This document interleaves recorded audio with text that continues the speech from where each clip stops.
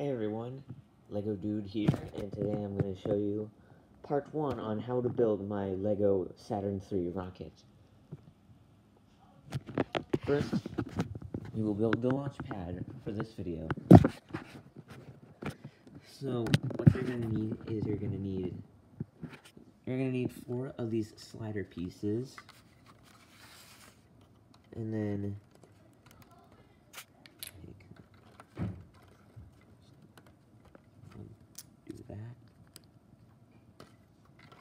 Then you're gonna need two by six plate, two of these uh, crane pieces, and uh, two slider piece, two uh, ra rail pieces, and one inverted tile piece.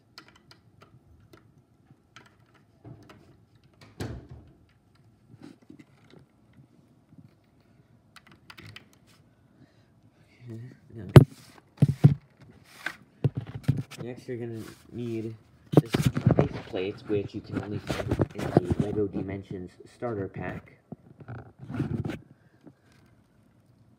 Then you, now we're gonna take this off for a little bit, and we're gonna take a look at the uh, support at the uh, superstructure.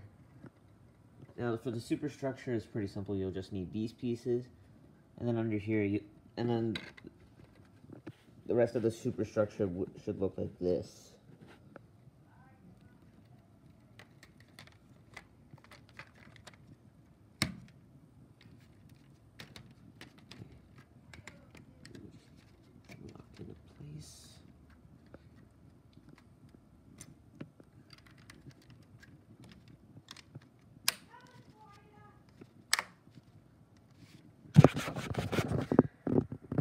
And if you have uh, paid close attention to this video and you followed the instructions correctly, you should have built the launch pad.